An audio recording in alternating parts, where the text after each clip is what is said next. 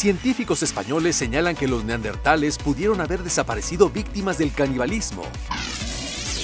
Utilizan una cámara con mil megapíxeles para digitalizar arte en alta resolución del Museo de Arte Contemporáneo de Bogotá. México logran limpiar de hidrocarburos y plaguicidas suelos contaminados a partir de un singular grano de café. Preservan el saco que portaba el día de su muerte el destacado personaje de la Revolución Mexicana, Francisco Villa. Y les recomendamos ampliamente el tema que les hemos preparado en nuestra sección de entrevista. Es un gusto saludarlos en una emisión más del espacio informativo del ILCE Horizonte Iberoamericano.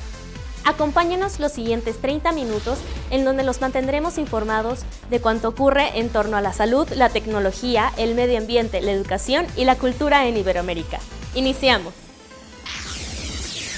Los neandertales fueron los parientes más cercanos a nuestra especie, los Homo sapiens, y científicos españoles han descubierto yacimientos que arrojan nuevas teorías sobre su extinción. Veamos cuáles son. ¿Fueron los neandertales responsables de su propia extinción? Esta es la pregunta que da título a la investigación publicada en el diario en línea Quaternary International por Jordi Agustí, investigador del Instituto Catalán de Paleoecología Humana y Evolución Social, y Javier Rubio Campillo, del Centro de Supercomputación de Barcelona. Su aproximación al problema se basa en un modelo informático para entender el papel que pudo tener el canibalismo en la extinción de los neandertales cuando esta especie confrontó a los recién llegados sapiens, explica Agustí. Se trata de un modelo informático con parámetros muy sencillos, aplicable no solo a los neandertales, sino a cualquier otra especie caníbal cuando se enfrenta a otra que no lo es, detalla el investigador. El trabajo se basa en las evidencias fósiles de una y otra especie. Hemos asumido que los neandertales eran caníbales de forma relativamente habitual, ya que se han encontrado pruebas de estas prácticas en yacimientos como el de Sidrón en Asturias, el de Krapina en Croacia y otros, explican los científicos. Los investigadores interpretan que esta especie mataba a miembros de tribus rivales y los devoraban, no por ritual, sino por simple necesidad nutritiva, lo que en la jerga de los paleoantropólogos se llama canibalismo gastronómico, relata Agustí. En una situación de competencia intergrupal, acabas comiéndote al vecino, añade.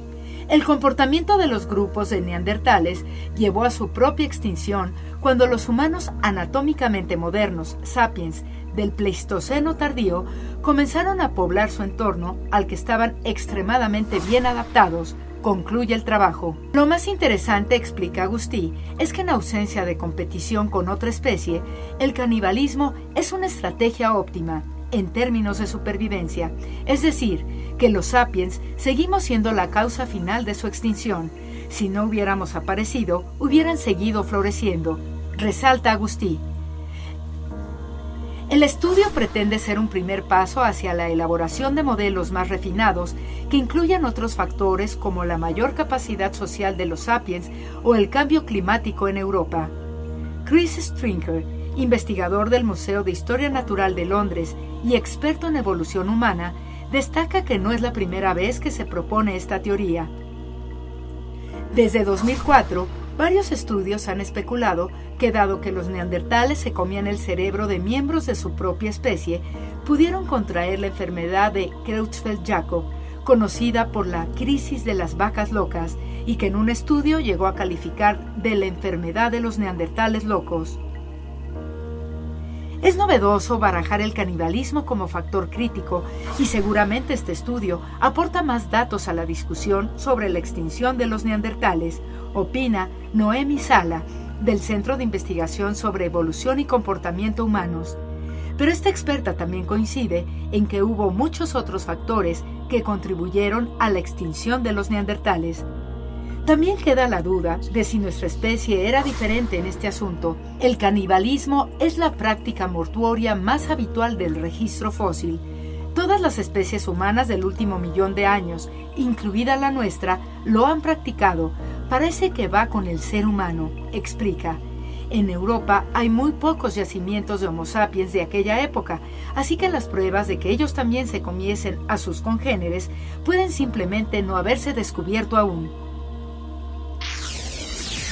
Una nueva tecnología ahora se incorpora a un importante museo colombiano para poder apreciar las obras de arte a niveles nunca antes vistos y a la comodidad del hogar. Acompáñenme a ver de qué se trata. El Google Art Project es uno de los proyectos del Instituto Cultural de la empresa, una iniciativa que busca acercar la cultura y el arte del mundo a una audiencia global a través de Internet. El instituto hoy tiene 6 millones de objetos, provenientes de más de mil instituciones culturales de 70 países en todo el mundo. El espíritu del Art Project es ofrecer una experiencia digital de museos en todo el planeta, pensado para la gran cantidad de personas que no pueden ir hasta el Louvre en Francia o el Tate Modern en Inglaterra, entre una larga lista de instituciones que hoy permiten el acceso virtual a parte de su colección, así como visitas a través de Google Street View, que es una especie de mapa en tres dimensiones que permite recrear un espacio físico a través de una computadora. Google y el Museo de Arte Contemporáneo de Bogotá, MAC, en Colombia, anunciaron la inclusión del MAC en Street View, así como la digitalización de 59 obras de la colección permanente de esta institución utilizando Art Camera, un dispositivo que permite lograr fotografías de 1000 megapíxeles, es decir, un gigapíxel lo que a su vez facilita la visualización con un nivel de detalle sin precedente. Art Camera es un dispositivo creado en el Instituto Cultural de Google, el mismo que creó Cardboard, los lentes de realidad virtual de la compañía, y que hoy viaja por todo el mundo digitalizando colecciones de arte para ser vistas en gran resolución a través de Internet. Gustavo Ortiz, director del MAC, explica que la selección de las obras que fueron digitalizadas usando esta técnica le hicieron basándose en factores como riqueza de texturas y en la presencia de detalles que no fueran apreciables a simple vista. Este tipo de plataformas no solo permite el acercamiento de una audiencia global al arte de un museo colombiano, sino que también representa una solución logística de primera mano para las tareas de divulgación y educación del MAC, como lo dice Ortiz. Vamos a emplear mucho esta plataforma para nuestros proyectos educativos, pues no es necesario llevar una obra hasta un salón de clases, sino que se puede mostrar en gran detalle a través de Internet. Parte de las obras del MAC que se pueden encontrar en alta resolución incluyen Las Bañistas de Luis Caballero, Supermercado de la Séptima de Santiago Cárdenas, Formas para copiar la luna de David Mansur, La familia de Leopoldo Richter y Jardín al amanecer de Cristóbal Sklenker. Según Pavón, el uso de Arcamira en la región apenas comienza, pues la tecnología va a llegar a otros países y a otros museos de Colombia. Aunque no dio nombres precisos, Pavón aseguró que Medellín será el próximo lugar en donde se empleará Arcamira en el país. Una inmersión en el espacio y el tiempo habitado por el visionario y padre de la civilización eléctrica es lo que ofrece la muestra El futuro me pertenece, Nikola Tesla, inaugurada recientemente en la Ciudad de México en el Centro Nacional de las Artes CNA. Distribuida en las galerías Central, arte binario y espacio alternativo del CNA, en ella se funden los límites entre la realidad y la ficción a partir de réplicas de las creaciones de este inventor serbio-estadounidense, además de bocetos, diagramas y modelos de sus proyectos, así como fotografías, videos y realidad aumentada. Entre los atractivos que enriquecen su estancia en la Ciudad de México, sobresale el programa de actividades paralelas, que incluye tres conferencias magistrales, tres talleres, dos performances, un ciclo de cine, 16 funciones de teatro y 90 visitas guiadas. La inauguración de la muestra fue encabezada por el secretario de Cultura del Gobierno Federal, Rafael Togari de Teresa, quien destacó que esta exposición permite revalorar la vida y la obra de uno de los grandes personajes del siglo XX quien registró más de mil inventos y descubrimientos, desde la luz eléctrica alterna, la radio y las bases del Wi-Fi, hasta el control remoto, el automóvil eléctrico y un avión que aterriza de forma vertical. Pachuca, capital del estado de Hidalgo en México, se prepara para acoger la vigésimo novena Feria Universitaria del Libro Full 2016 del 26 de agosto al 4 de septiembre con Alemania como país invitado de honor. Marco Antonio Alfaro, presidente de la FUL 2016, aseguró que la participación de Alemania, conocida como la tierra de poetas y pensadores, será trascendental para fortalecer este encuentro. Los asistentes conocerán un poco más de esta nación europea que le ha dado al mundo grandes personalidades como el físico Albert Einstein o el poeta Johann Wolfgang von Goethe. Es precisamente en Alemania donde se lleva a cabo todos los años el encuentro editorial más importante del mundo, la Feria del Libro de Frankfurt, fundada en 1949. Alfaro adelantó que destacadas personalidades de la literatura, editoriales, diseñadores, ilustradores y expertos en temas de educación integran el ambicioso programa de actividades. Durante la FUL 2016, el público podrá disfrutar de conferencias, exposiciones, talleres y conciertos, entre otros eventos culturales pensados para la comunidad universitaria y la sociedad en general, concluyó. Un ejemplo de la retroalimentación que existe entre España y México dentro de las artes es la obra de Pedro Meyer. Los invito a ver el siguiente perfil dedicado a él. Pedro Meyer es uno de los pioneros y representantes más reconocidos de la fotografía contemporánea. Nacido en Madrid, España, en 1935, pero radicado en México, fue el fundador y presidente del Consejo Mexicano de Fotografía en 1975 y organizador de los tres primeros coloquios de fotografía latinoamericana. Además de su trabajo fotográfico, Pedro Meyer ha sido profesor en diversas instituciones de prestigio, así como curador, editor, fundador y director del famoso sitio web de fotografía Zona Cero, que alberga la obra de más de mil fotógrafos de todo el mundo. En 1991 publicó el primer CD-ROM en el mundo con sonido e imágenes a pantalla completa titulado Fotografío para recordar otro de sus grandes logros fue su proyecto Herejías en 2008, compuesto por más de 60 exposiciones simultáneas en 17 países de todo el mundo, una base de datos que contiene el trabajo de toda su vida, 450.000 imágenes y documentos y un libro con el mismo título. La recuperación de suelos contaminados es una de las tareas en las que los científicos han probado diversos métodos. Uno de ellos es el que refiere la siguiente información. A fin de dar solución al problema de las 55 hectáreas de suelo afectado por crudo y gasolinas de la ex refinería 18 de marzo de Petróleos Mexicanos, autoridades de la paraestatal mexicana solicitaron la colaboración de especialistas del Departamento de Biotecnología y Bioingeniería del Centro de Investigación y de Estudios Avanzados Sinvestav del Instituto Politécnico Nacional, quienes implementaron una novedosa técnica de biomedicación que emplea grano verde de café no comercial con lo que lograron descontaminar de hidrocarburos el área afectada. El método dio remedio y recuperación a terrenos de otros siete proyectos antes de obtener su patente a nivel nacional. Actualmente se está aplicando la tecnología modificada en las chinampas de Cuemanco, en la Ciudad de México, que están contaminadas con plaguicidas organoclorados.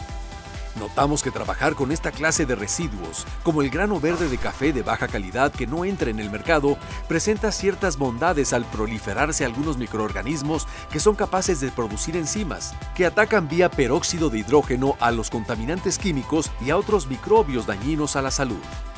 La doctora Refugio Rodríguez Vázquez, cabeza del equipo científico del Simvestav, refiere que el proceso de limpieza de áreas contaminadas se realiza por lo regular desde hace décadas mediante cambio de suelo, es decir, sustituyen el suelo contaminado por limpio. En algunas ocasiones emplean mezclas de material orgánico como fibra y pastos, adicionados con fertilizantes químicos y en algunos casos con estiércol de ganado pero este último método implica problemas a la salud debido a los microorganismos patógenos que se encuentran en dichos residuos. Con la tecnología desarrollada en el Simvestav, se realiza en 6 a 8 semanas en un alto porcentaje para un nivel de contaminación de 2 a 4%. Esta tecnología ha sido el resultado de la generación de varias tesis de licenciatura, maestría y doctorado, además de su respectiva patente mexicana. Agrega que la tecnología desarrollada en el Simvestav fue acreedora para participar por el programa de becas Leaders in Innovation Fellowships 2015 patrocinado por Newton Foundation y la Academia Real de Ingeniería de la Gran Bretaña, y que a nivel mundial elige casos de éxito de transferencia tecnológica y de emprendimiento. La tecnología mejorada se someterá a patente internacional para aplicarse in situ sin realizar excavación del suelo contaminado, lo cual incidirá en varios beneficios, aunado a una reducción en el costo de tratamiento. Debido a la versatilidad de la tecnología, se realizará su aplicación a suelos agrícolas de la Costa Grande en el estado de Guerrero para la eliminación de plaguicidas organoclorados. Para ello se adecuó la tecnología empleando como variante de material orgánico a la cáscara de naranja, en la que crecen microorganismos bajo condiciones nutricionales y ambientales específicas que eliminan plaguicidas.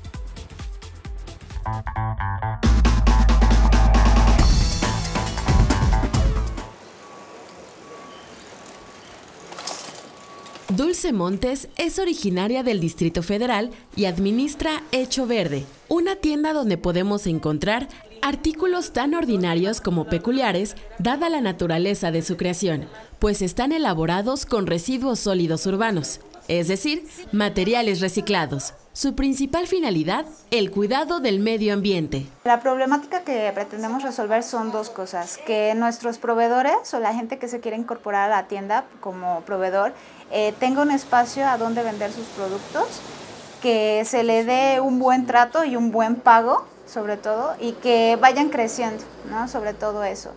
Y después con los residuos, que sea una fuente de recursos de materia prima, digamos, un tanto gratis, accesible, que se puedan reciclar y eh, ponerlos en algo bonito y funcional, sobre todo. Eso es lo importante, que nosotros no queremos caer en algo que le pongas pintura y que se vea más o menos bonito, pero que si lo agarras o algo se deshaga y termine otra vez en la basura. O sea, nosotros le ponemos un poco más de tiempo al proceso para que tenga un tiempo de vida útil más extendido.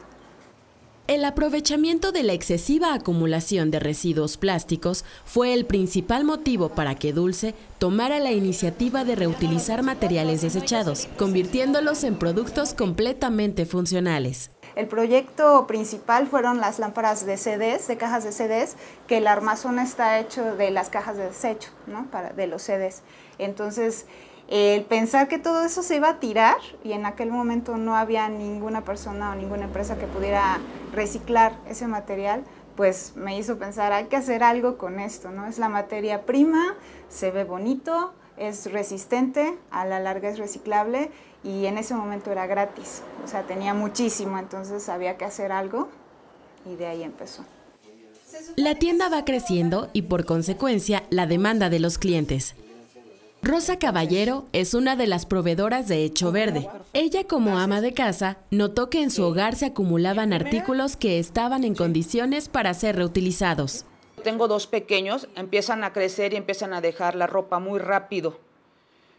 Cuando veo que sus pantalones de mezclilla ya no les quedan, empiezo a buscarle una utilidad a esa, a esa pantalón de mezclilla y empiezo a hacer monederos, empiezo a hacer bolsas y empiezo a reutilizar la, la ropa de mezclilla básicamente. La ropa, el papel periódico y el cartón son algunos de los materiales que recicla Rosa para la elaboración de cestos de papel, portarretratos y diversas manualidades. Actualmente me dedico a elaborar manualidades por medio de periódico, papel periódico, por medio de cartón, en las cajas de galletas. Todo eso antes se iba a la basura, todo ahora es parte del material que nosotros rescatamos, ¿no? Lawrence Cuvillier tuvo la brillante idea de transformar botellas de vino en singulares lámparas. Así contribuye con el cuidado del medio ambiente, obteniendo al mismo tiempo una bella decoración para su apartamento. Efectivamente, me salió más o menos al mismo precio que me hubiera costado otra lámpara comercial bonita y todo, pero si para el mismo precio pues puedo contribuir a hacer un poco mi parte, ¿no? En que no se tiren tantas cosas en el medio ambiente, en el hábitat, en el medio natural, pues este, trato de hacer mi parte simplemente, ¿no? Estas cosas sí, este, parecen muy sencillas, pero finalmente siempre hay un truco que si no se hace bien, pues no se va a ver bien. Además, despierta y estimula mucho la, creatividad y la imaginación, ¿no? que creo que es algo que también nos hace falta, ¿no? porque hemos sido acostumbrados a, a, pensar de la forma de, ah, bueno, eh, necesito algo que lo compro, necesito otra cosa, lo compro, lo compro, es comprar, tirar, comprar, tirar, comprar, y finalmente no, tenemos, no hacemos nuestra parte, ¿no? Existe una gran lista de materiales reciclables que pueden transformarse en un objeto útil. Sin embargo, algunos de estos deben manipularse con precaución debido a su fragilidad y peligrosidad como lo es el vidrio. Jorge Reyes también es proveedor de Hecho Verde. Sus productos están elaborados a base de botellas de vidrio. Él nos comenta sobre la importancia de la reutilización de este material. La reutilización en el vidrio es bien importante porque a pesar de que yo mi, con lo que los horneo es gas, que también este, pues, lógicamente desprende este, gases de efecto invernadero, pero sin embargo es muchísimo menor la cantidad de energía que se gasta al hacer estos procesos, al estarlo reciclando y hacer otra vez botellas, por ejemplo. Este, entonces sí se reduce como por mucho ese gasto energético y es como por ahí una ventaja ¿no? que tiene también esto de, de, de, darle nuevas formas este, utilitarias a las botellas que normalmente se van a la basura. Además de obtener ingresos mediante la productividad del reciclado, otro de los propósitos de esta tienda es promover la concientización en la sociedad para que tomemos la responsabilidad que nos corresponde como habitantes de este planeta. Creo que uno de los problemas es que eh, nos hemos desconectado completamente de la cadena de, fabricación de lo que de consumimos. Ya no sabemos ni nos importa de dónde viene, cómo ha sido fabricado, los productos que se han añadido ahí. Pero si yo compro, por ejemplo, huevos orgánicos a una persona eh, y sé que en cualquier momento puedo ir a visitar su rancho y voy a ver que las gallinas andan ahí libre, que comen alimentos naturales, pues sí voy a tener una relación mucho más humana, mucho más eh, pues, llena, llenadora ¿no? con, con, con mi forma de, de consumir. Y eso se puede hacer a muchísimos niveles. Los diseños originales de estos productos reciclados han provocado el asombro y aceptación de los consumidores. Sin embargo, es importante destacar que para obtener la calidad óptima se requiere de mucho trabajo, dedicación y cuidado. Siempre que pasan por la tienda aquí en Hecho Verde nos dicen, wow, no había visto todo esto, ¿no? Siempre llevan mucha prisa generalmente, pero ya cuando entran se ponen a ver todo, que en cada rincón hay distintas cosas. Entonces, si preguntan, ¿Esto de qué es? Porque a primera vista no parece de un material sacado de la basura. Entonces siempre preguntan, ¿esto de qué es? ¿Con qué está pintado? ¿Con qué está hecho? Y después empiezan a imaginárselo en su casa. Y siempre que se van, pues terminan diciendo, wow, qué padre que hacen esto, ¿no? Hacía falta. Poco a poco se ha logrado la concientización sobre el consumo responsable, el reciclado y el aprovechamiento de los residuos sólidos en diversas instancias, tanto sociales y educativas como en la iniciativa privada. Sin embargo, el principal reto a vencer es el fortalecimiento de estos hábitos de manera individual para verlos reflejados en la vida cotidiana. Si nosotros cimentamos el valor del reciclado en casa, en familia, desde los pequeños, vamos a hacer muchísimo bien, no solamente a ellos, sino a todo el mundo.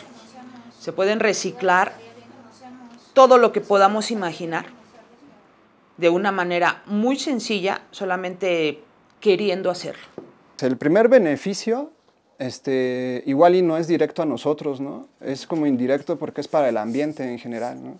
De que ya nos están generando tantos residuos y no, se, no van a parar a los a los tiraderos estos donde de pronto hasta los llegan a enterrar, ¿no? Esos desechos, que bueno, pues ya es bien sabido que estos desechos en conjunto generan lixiviados y esos contaminan los mantos acuíferos. Entonces, este, pues lo principal es sobre el ambiente, ¿no? Y luego ya cuidando el ambiente, pues lógicamente nos repercute a nosotros, ¿no? Que formamos parte y somos, estamos dentro de ese ambiente.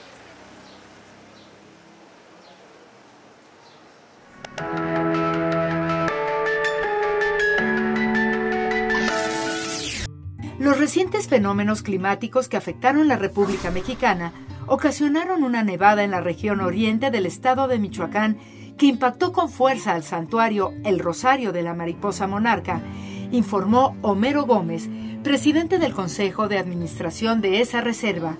Afirman que desde 1995 no se registraba un fenómeno de esa magnitud y reiteró que impactó fuertemente la estadía de la mariposa monarca, que en esta etapa de hibernación se había recuperado. La mariposa monarca, de gran tamaño de colores naranja y negro, vuela hasta 4.000 kilómetros desde Canadá, huyendo del crudo invierno, hasta llegar a los bosques de Oyameles en México. Universum, Museo de las Ciencias y otras entidades de la Universidad Nacional Autónoma de México UNAM se unieron nuevamente a la campaña mundial para fomentar la conciencia pública sobre los avances y beneficios de la investigación sobre el cerebro y dedicó el mes de marzo a actividades relacionadas. El mes del cerebro estuvo organizado en semanas temáticas, en las cuales se trataron asuntos como enfermedades neurodegenerativas, adicciones, uso de la marihuana y sus efectos, padecimientos del sistema nervioso, impacto de la obesidad en las funciones cognitivas y emocionales y trastornos y su vínculo con otras afecciones. El mes del cerebro es un evento de divulgación científica realizado de forma anual en marzo, sus propósitos son impulsar el conocimiento y la investigación, así como divulgar los últimos avances en neurociencias. Especialistas mexicanas han logrado preservar una prenda de un alto valor histórico tanto por la importancia de su dueño como por el momento en que la portaba. Veamos de quién se trata. El saco de lino que portaba el día de su asesinato Francisco Villa destacado personaje de la Revolución Mexicana, ha sido sometido a un minucioso proceso de restauración para finalmente asegurar su conservación. La prenda que fue donada por su segunda esposa, Austreberta Rentería, a mediados de los años 60 del siglo XX, fue resguardada por el Instituto Nacional de Antropología e Historia, INA. Proveniente del Museo Nacional de Historia, Castillo de Chapultepec, el saco llegó a la Escuela Nacional de Conservación, Restauración y Museografía, donde en fechas recientes un grupo de estudiantes han trabajado con obras históricas que presentan marcas de sangre. El saco de Francisco Villa presenta 11 orificios y no expone a simple vista las huellas de sangre que provocaron las heridas. Para indagar las causas de este hecho y determinar los procesos metodológicos que debían seguirse en su preservación, las especialistas realizaron un estudio del contexto histórico para llegar a un dictamen de conservación. El saco que Francisco Villa vestía el día de su asesinato estaba hecho a la medida, con el estilo propio de su dueño y de lino color marfil. El material de composición se encontró estable, pero fue necesario coser el extremo de la manga izquierda, cortada para extraer la prenda del cuerpo en el lecho de muerte con el propósito de detener la pérdida de hilos. Para evitar el exceso de manipulación que afectara al textil, se propuso diseñar un maniquí exclusivo que permitiera las labores de costura y apoyara a una mejor lectura de la serie de balazos que dan valor histórico al objeto y comprender la constitución física del personaje. La investigación condujo a las estudiantes a plantear dos hipótesis. La primera es que la prenda pudo haber sido lavada después del evento. Hasta el momento, las pruebas de laboratorio han sido insuficientes al respecto. No obstante, las arrugas más significativas se removieron sin aplicar calor directo que pudiera despolimerizar las proteínas que contiene la sangre, con el fin de someterla en el futuro a otro tipo de análisis. La segunda hipótesis es relativa al proyectil que hirió el corazón de Villa. El hecho de que su rastro no se encontró hace suponer que el general llevaba abierto el saco en el momento del atentado. Este aspecto permitió determinar que se trata de un saco y no de una camisa, como se pensaba. De esta manera, el seminario no solo prepara a los estudiantes para reconocer el universo al que se enfrentarán en su vida profesional, sino que los lleva a profundizar sobre los datos históricos y construir hipótesis que inciden de manera directa en la toma de decisiones de todo trabajo de conservación. El hornero común es una pequeña ave originaria de América del Sur y que Argentina adoptó como su ave oficial desde 1928. Veamos las siguientes imágenes para conocer más de ella.